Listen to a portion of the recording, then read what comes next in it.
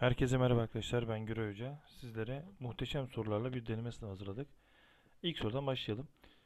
Önder öğretmen kartondan yaptığı ve her birinin üzerinde birer tam sayı yazdığı aşağıdaki rüzgar gülleriyle çubukları sınıfa getirmiştir. Rüzgar gülleri sırayla 1, 2, 3, 4, 5, 6 diye numaralandırılmıştır. Önder öğretmen öğrencileri Ömer ve Alp'ten 3 rüzgar gülü seçerek her çubukta bir rüzgar gülü olacak şekilde takmalarını istemiştir. Ömer 1, 3 ve 5 numaralı rüzgar güllerini seçerken Alp ise kalanları seçmiştir. Ömer 1, 3, 5'i seçmiş. Alp de diğerlerini seçmiş. Ömer ve Alp'in seçtikleri rüzgar güllerini yazan sayıların çarpımı sırayla A ve B olduğuna göre A bölü B ifadesi aşağıdakilerden hangisidir? O zaman Ömer'in çarptığı bulduğu sayıda çarpalım. 9 çarpı 2 çarpı eksi 1 Alp'te kaç bu neydi? Eksi 3 çarpı 5 ve 4. Şunları paranteze yazalım. Bunları oranlayalım arkadaşlar. Bunları bölelim. O zaman ne olacak? Bir kere şu eksiler artı olacak. Sadeleştirelim. 3'e bölelim 1, 3'e bölelim 3.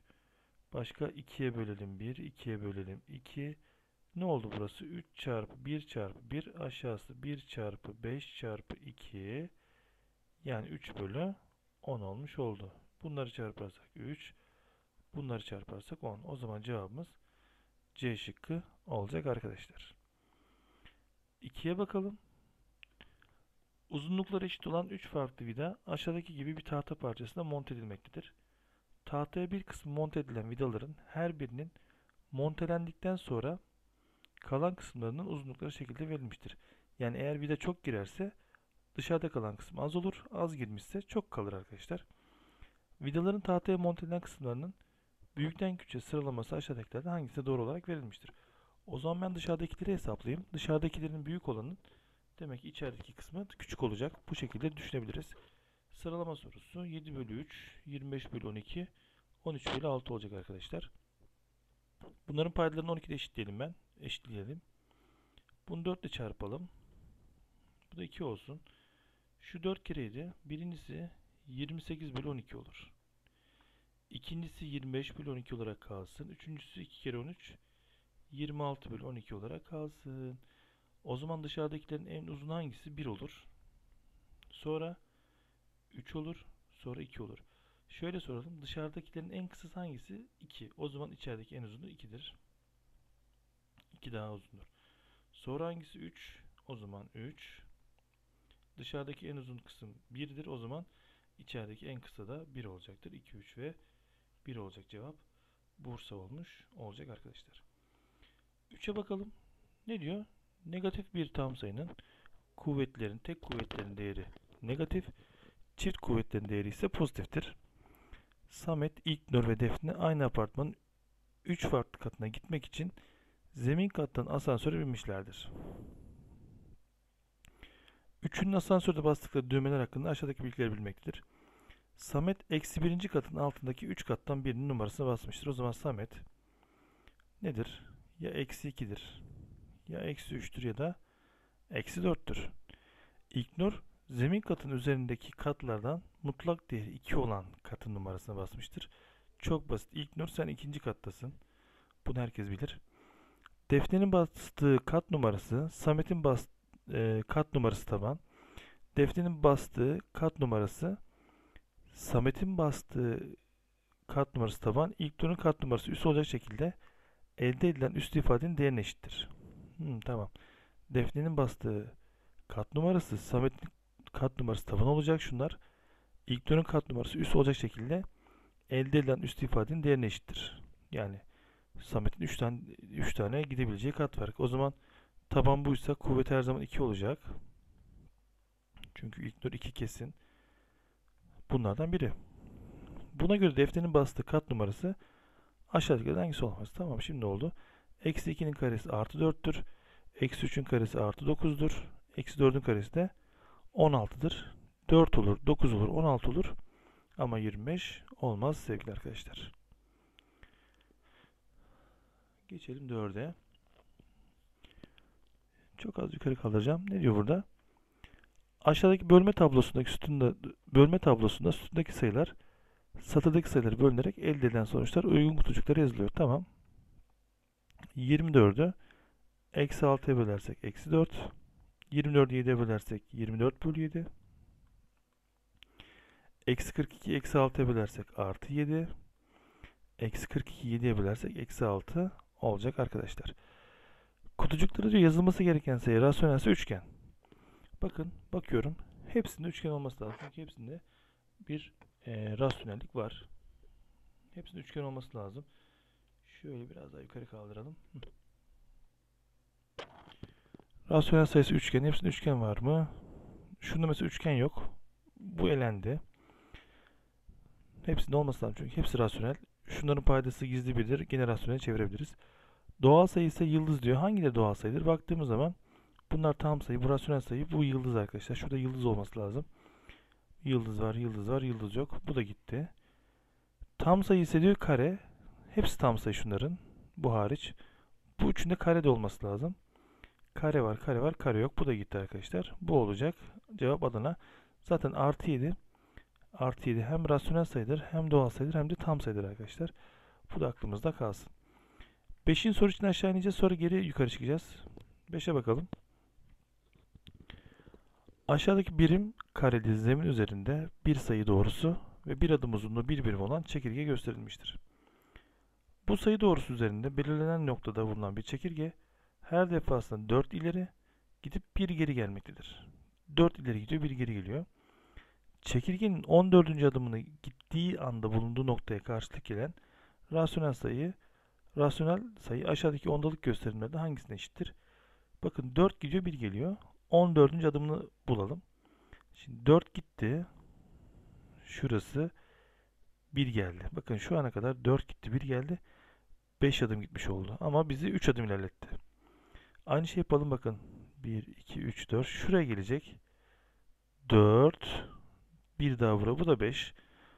Bakın şu an 10 adım gitti burada.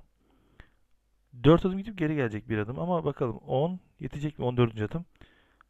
Zaten 4 adım giderse olduğu yerde kalacak. Hop 14 arkadaşlar. Şurada kaldı. 15 olsa bir adım geri gidecek. Peki bunun değeri nedir? Bakın eksi 1 ile 1'in tam ortası sıfırdır. Şurası sıfırdır. 0 ile 1 arasında o zaman 4 eş parçaya bölmüşüz. Bir tanesine gitmişiz. 1 bölü 4 olacak bu da. 25'te genişletirsek bu da 25 bölü 100 sıfırdan yüzde 25 olacak arkadaşlar.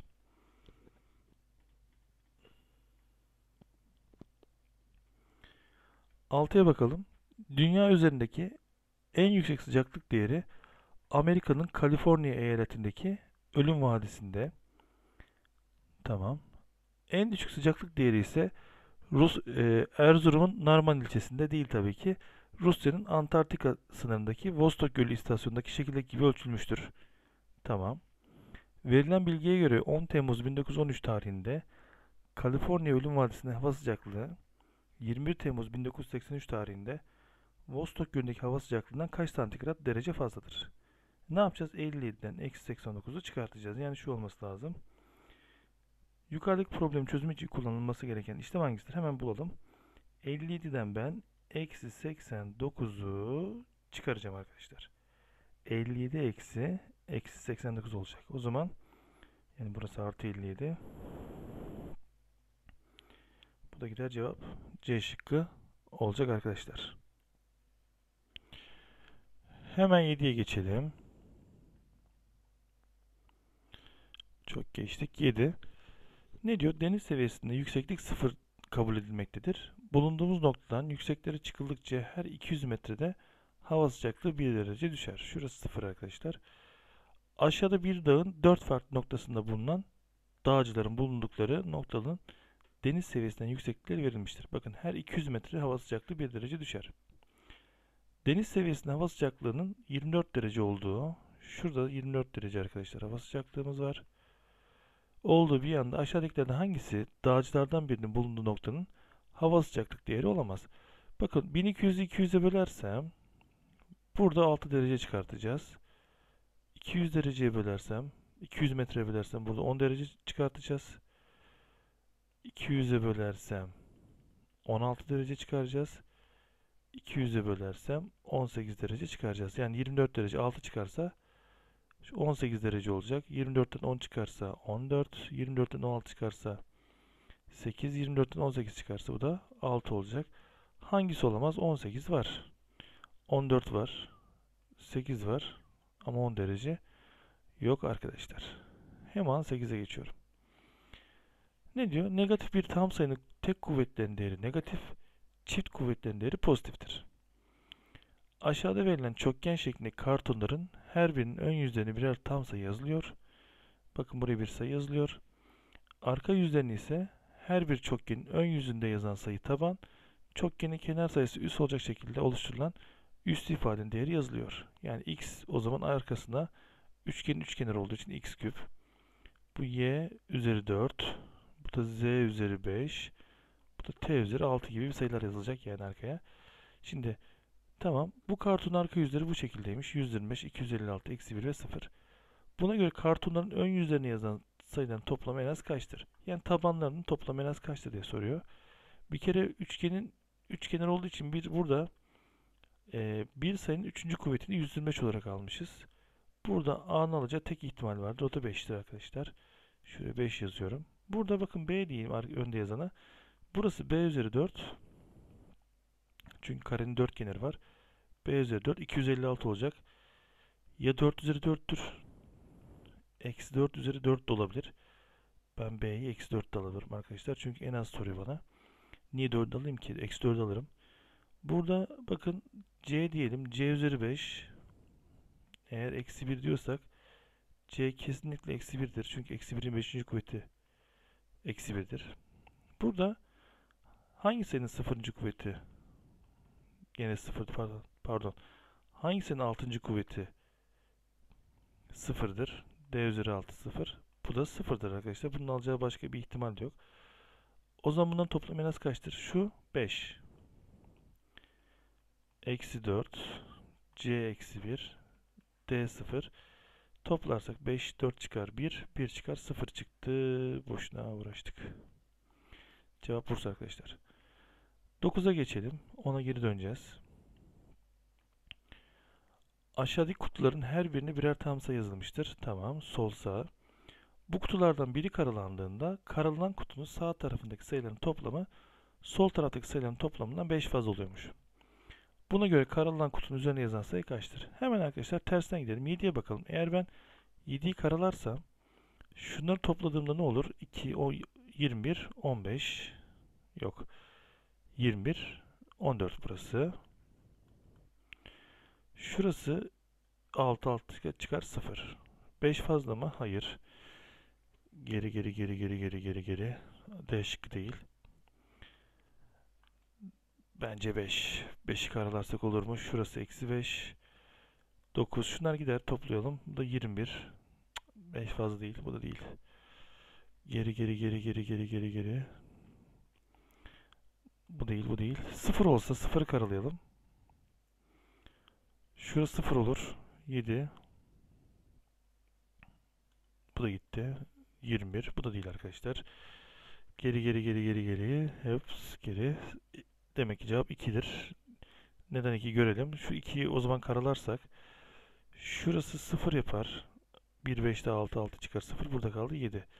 Şu da eksi 7 artı 19 artı 12 yapar. Bakın 5 fazla olacak. O zaman cevabımız 2 olmuş olacak. 10 numara bir soru arkadaşlar buradaki sorumuz. Ne diyor 10 numara sorumuz? Aşağıda dairelerin içerisinde yazılacak tam sayılarla oluşturan bir işlem ağacı gösterilmiştir. Sol sağ.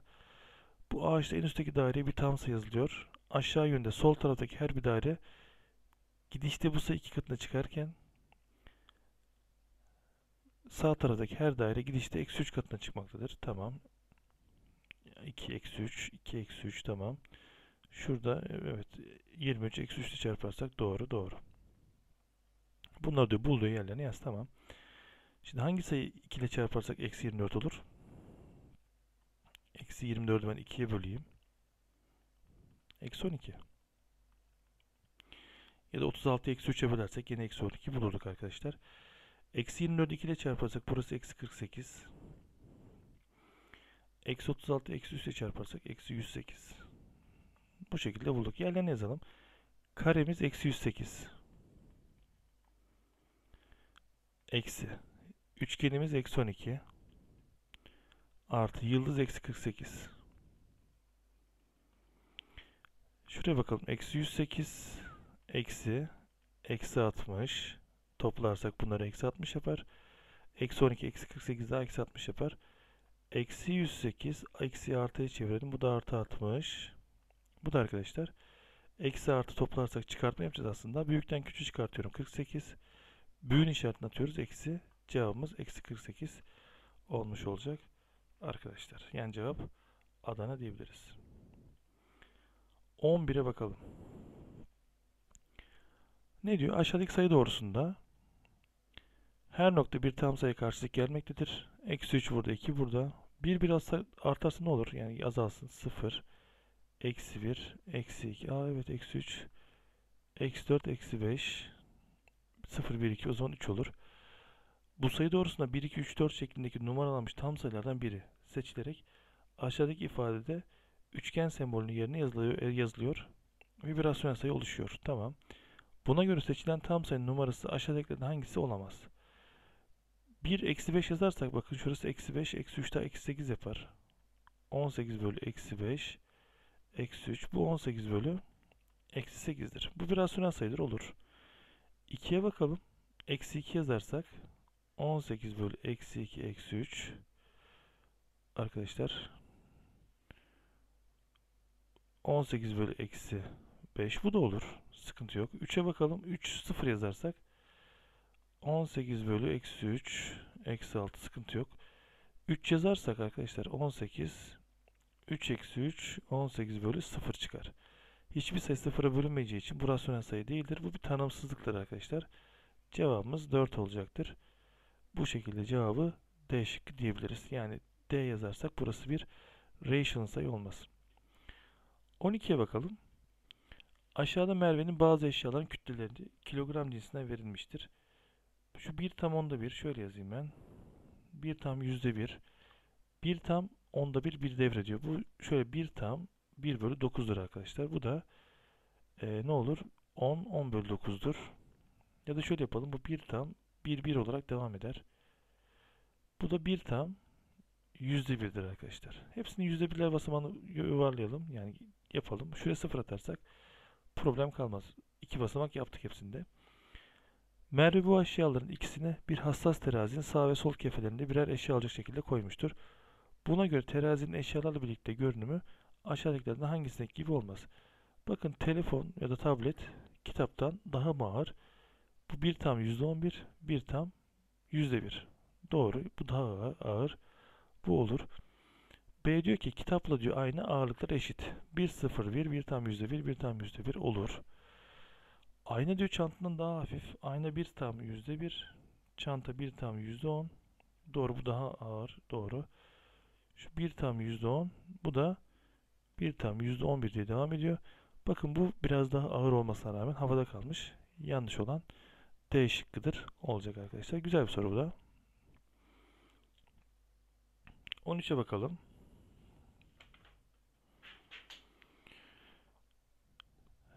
Aşağıdaki sayı makinesinin üst ve alt taraflarında üçer bölüm bulunmaktadır. Evet. Makinenin bir yanındaki kol çekildiğinde üst tarafındaki bir bölümde yazan tam sayı alttaki bir bölümde yazan tam sayı ile aralarını yer değiştirmektedir. Tamam. Makine yukarıdaki görünümdeyken kol bir kez çekiliyor. Sonra üst taraftaki bölümlerden birini yazan sayı pay, alt taraftaki de payda olacak şekilde rasyonel sayılar elde ediliyor. Buna göre elde edilen en büyük rasyonel sayının değeri kaçtır? Şimdi arkadaşlar bunlar yer değiştirecekse 13 bölü 2 olabilir mi? 13 bölü 2 olamaz. Bunlar bir kere yer değiştirecek. İşaret eksi olur. Bu olmaz. Ee, 11 bölü 4 olur mu? Bunlar yer değiştirsin. 11 bölü 4 olur. 13 bölü 4 olur mu? Bunlar yer değiştirse işaret eksi olur. Bu olmaz. 11 bölü 2 olur mu? O x 11 yukarı çıksa eksi 2 aşağı inse bu da olur. O zaman en büyük hangisi olacaktır? Bursa olacaktır. Bu şekilde söyleyebiliriz arkadaşlar. 14'e bakalım. Aşağıda iki satır ve iki sütun oluşan bir toplama tablosu verilmiştir. Diyor ki tablodaki toplama işlemi sadece satırdaki tam sayıların toplama işlemlerine göre tersleri alınarak yapılıyor. Satırdaki sayıların toplamaya göre tersi yani eksi 4 ile bakın bunun tersi eksi 5 olarak alınacak. Sayımız artı 5 ama eksi 5 olarak alınacak. Eksi 5'i kullanıyoruz. Eksi 9 olacak. Doğru. Tamam. Buna göre bir numaralı kutuda yazan sayının 2 numaralı kutuda yazan sayı bölümü kaçtır? Eğer o zaman bunu eksi 5 olarak kullanacaksak artı 3 ile eksi 5 toplarsak şurası eksi 2 olur. Bakın 2 numaralı yere eksi 2 gelir. E şurası ne olacak? Eksi 4 ile ben neyi toplarsam bir kere 1 yapar. Onu düşünmem lazım. Ha pardon bu 1. 3 ile ben neyi toplarsam artı 13 yapar? Artı 10 ama tersi artı 10. Artı 3 ile artı 10 toplarsak artı 13. Tersi artı 10 kendisi eksi 10 arkadaşlar. Eksi 4 ile artı 10'u toplayacağız o zaman. Eksi 4 ile artı 10'u toplarsak tersini toplayacağız. Bu da artı 6 yapacak. 1 nolu yerde artı 6 arkadaşlar. 1 nolu kutuda yazan sayının 2 nolu kutuda yazan sayı bölümü kaçtır? 6 bölü eksi 2. Bu da eksi 3 olacaktır. Sevgili arkadaşlar. 14'te böyleydi. 15'e geçelim. Hemen geçiyoruz 15'e. Kare şeklindeki bir karton 36 eş kareye ayrılıp bu kareler eksi 16'dan artı 19'a görüldüğü gibi sayılar yazılıyor. Bu sayılardan eksi 2'nin pozitif tam sayı kuvvetlerinin eşit sayı olan sayıların bulunduğu kareler griye. Eksi 2'nin pozitif tam sayı kuvvetlerine eşit olan sayıların bulunduğu kareler griye. Pozitif tam sayı diyor. Eksi 2 üzeri 1 eksi 2 burada var. Karesi artı 4 burada var. Küpü eksi 8 burada var. 4 artı 16 burada var. 5. kuvveti yoktur. Hemen işaretleyelim. Eksi 2. Bunu gri olarak düşünün. Hatta G yazalım. Gri.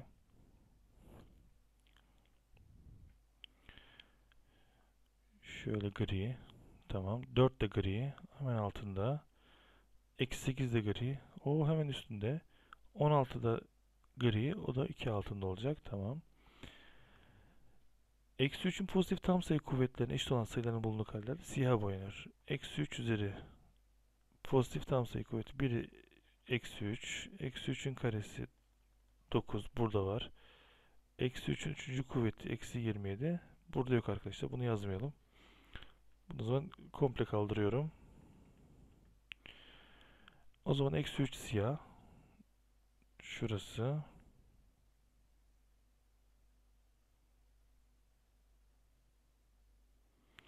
Dokuz da siyah.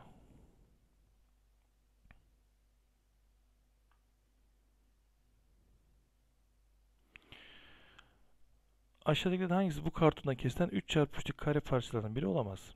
Hemen bakalım. Eksi 16, eksi 4. Şu kısım arkadaşlar bakın. A şıkkı şu. Olabilir mi? Siyah, gri, gri olabilir. Eksi 13 ile başlar. Şurası olabilir mi?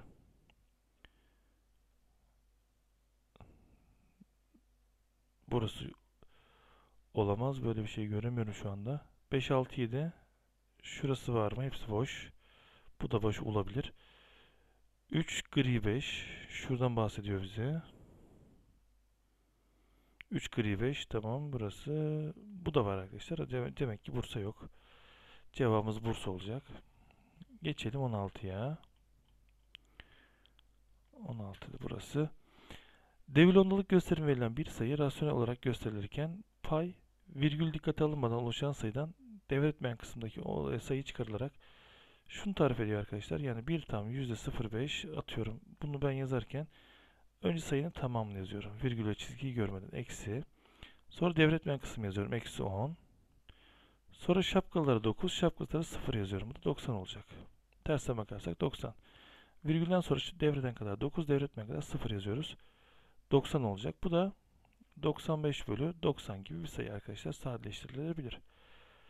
Sezen aşağıda gösterilen kartondan yapılmış cetvelin iki ucundan belli birer parça kesip atıyor. Tamam. Sezen'in kestiği parçaların uzunluklarının toplamının cetvelin kalan uzunluğu oranı 0.13. 3 devrediyor arkadaşlar. Yani bu 0, 33, 33 diye devam eder. Olduğuna göre diyor kesilen iki parça aşağıdakilerden hangisi gibi olabilir? Diyor ki cetvelin uzunlukları toplamının kestiği parçaların uzunlukları toplamının cetvelin kalan uzunluğu oranı bu olacakmış. Zaten 12 santim tamamı. Kestiği parçalar 3, 2 daha 3, 1 daha 4. 4 kalan 12'ye tamamla 8 olacak. Bu 1 bölü 2'dir. Yani 0 tam onda 5. Bu olmaz. 2, 2 daha 4. Gene aynısı. 4 bölü 8 kalan 8'dir. Bu da 1 bölü 2 bu da olmaz. Şurası 3. 3 kestik. 12'den 3 çıkarsa 9 kalır. 3 bölü 9 1 bölü 3. Bu da 0 tam onda 3 olur arkadaşlar. Ta kendisi. 3 9 aynen. Bu olabilir. Bu da 3 4 5 5 bölü 7. Bu olmaz. Sevgili arkadaşlar. Bu şekilde söyleyebilir cevabımız C şıkkı olacak arkadaşlar. Güzel bir soru. 17'ye bakalım. Bir bilgisayar programının çalışma sistemi aşağıda verilmiştir. Sisteme farklı iki tam sayı gir. Tamam girdik. Küçük sayı pay, büyük sayı payda olacak şekilde rasyonel sayı oluştur. Küçük sayı paysa o zaman eksi 11 olur. Küçüğü. Büyük de payda olacağına göre eksi 3 olur. Artı 11 bölü 3 olacak arkadaşlar. Oluşturulan rasyonel sayı ondalık gösterime dönüştür. Tamam. Sonucu ekrana yaz. 11 bölü 3. Hemen şurada zihinden böleyim. 3 kere var. 3 kere 3 9 çıkarsa 2 0,6 18 çıkarsa 0,2 6 3.6 diye devam eder. Cevabımız Adana olacak. İşaret zaten pozitifti. Arkadaşlar. Geçiyorum. 18'e. Ne diyor burada? Aylin öğretmen sınıf tahtasında iki grup şeklinde her birinin üzerinde birer tam sayı yazılı olan kağıtlar yapıştırmıştır. Birinci grup, ikinci grup. Daha sonra Serkan'ın iki gruptan birer kağıt seçmesini ve seçtiği kağıtlardaki tam sayıların çarpımının elde edilebilecek en küçük değerde olmasını istemiştir. Birinci grup, ikinci grup. Buna göre Serkan'ın elde etmesi gereken tam sayı hangisidir? Serkan iki gruptan birer kağıt seçiyor ve bunları çarpıyor. En küçük sayı oluşturmaya çalışıyoruz. Şöyle yapalım. Buradaki bir artı bir eksi seçelim negatif olsun. Buradaki en küçük değer eksi 11. Buradaki en büyük değer de artı 6 olsun. Çarparsak eksi 66 olacak. Şuradaki en büyük değeri seçelim bu sefer de artı 9. Buradaki en küçük değer eksi 8. Çarparsak bu da arkadaşlar eksi 72 olur. Hangisi daha küçük? Tabii ki eksi 72 olacak. Şöyle göz atıyorum. Eksi 88 olsa daha küçük. Yani şunları herhalde kastediyor. Bunlar da artı olur. Bu olmaz. Dediğim gibi eksi 99 olması için de ikinci gruptan iki tane seçmen lazım. O da yanlış olur. Cevap Bursa olacak. 19'a bakalım. Isı yalıtımı yapılarda ve tesisatlarda ısı kayıplarının sınırlandırılması için yapılan işlem verilen addır. Hasan Bey yaptığı binanın yalıtım sisteminde kullanmak için 4 farklı yalıtım malzemesi arasından birini seçecektir. Bunun için aynı ortamda her bir farklı yalıtım malzemesinden yapılmış 4 farklı kaba eşit miktarda 100 derece su koymuştur.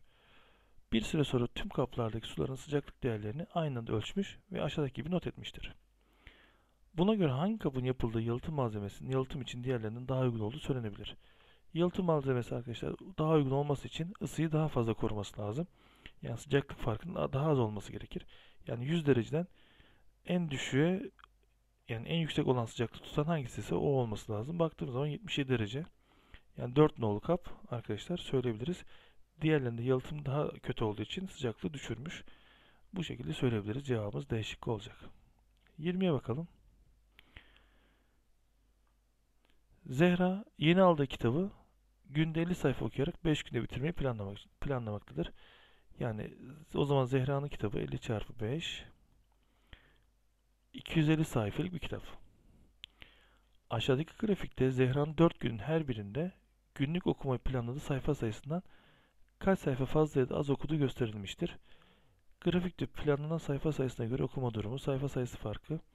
Şimdi birinci gün 8 sayfa fazla okumuş. Yani 50'ymiş. Hop 58 sayfa okumuş. İkinci gün 6 sayfa eksik okumuş. 50'yi de 44 sayfa. Üçüncü gün 12. 38. Dördüncü günde 6. Bu da ne olur? 6 gün fazla okumuş. Ne olur? 56 olur. Şimdi gelelim 5. güne. Şimdi kaç sayfa okumuş toplam? Bunları bir toplayalım arkadaşlar. Şurada hemen bir toplayalım zihinden. 58, 44, 56 38 toplarsak eğer 4 6 daha 10 18 21 elde var 2 2 7 11 14 19 191 sayfa. Okumuş arkadaşlar. Bir daha okuyalım. Bir daha toplayalım. 8 şu 10 18 26 196 olacak arkadaşım. 8 16 26 olur. Elde var 2 tamam. 196 oldu. 250'den de 196'yı çıkartırsak arkadaşlar 54 sayfa okumuş olacak arkadaşlar. Sınav sorularımız böyleydi. Gayet güzel sorular, eleyici sorular. Hazırlayan arkadaşlara teşekkür ediyoruz. Ee, bunlarla ilgili arkadaşlar bu videoyu beğendiysek eğer e, beğenebiliriz, yorum yazabiliriz. Ben yorumları dikkatli bir şekilde, özenli bir şekilde okuyorum. Ee, kanalımıza abone olmayan arkadaşlarımız varsa abone olurlarsa sevinirim. Görüşmek üzere arkadaşlar. Başarılar diliyorum.